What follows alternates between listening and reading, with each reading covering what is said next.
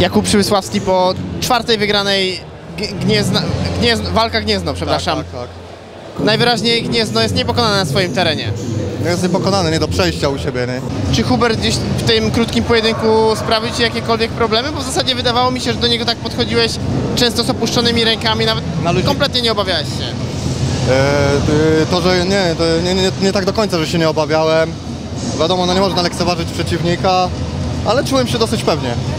Ta balacha to absolutnie znikąd. To był taki plan, żeby go czymś zaskoczyć, bo w zasadzie Pierre go Ja, trochę ja, poroz... ja y, y, w planie miałem, żeby skończyć walkę w stójce, ale przeciwnik dąży do tego, żeby mnie obalić. No i mnie obalił, no to no jak mnie obalił, no to będę walczył w parterze, nie? Jasne. Więc przygotowany byłem i tutaj, i tutaj, nie? I jak zapytam w takim razie o Twoją własną publiczność, bo, bo dzisiaj pytam każdego zawodnika z Gniezna o to, jak się czujesz walcząc przed własną publicznością.